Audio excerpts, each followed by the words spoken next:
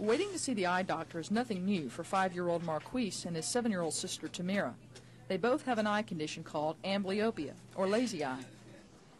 It develops in children who are either farsighted in one eye or nearsighted in one eye more than the other eye, or when the eye crosses. To correct the problem, doctors cover the good eye with a patch, forcing the use of the weak eye. This stimulates vision and brain development. But convincing a child to wear a patch for several hours a day is often difficult.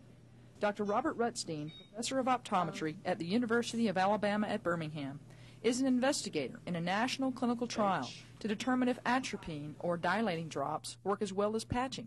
The findings were essentially saying in children younger than seven with moderate amblyopia will do equally as well with either drops or atropine or patching.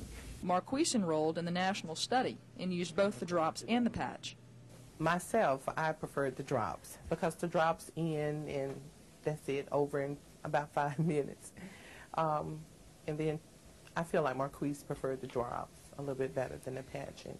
From the University of Alabama at Birmingham, this is Andrea Reber reporting. Have a seat.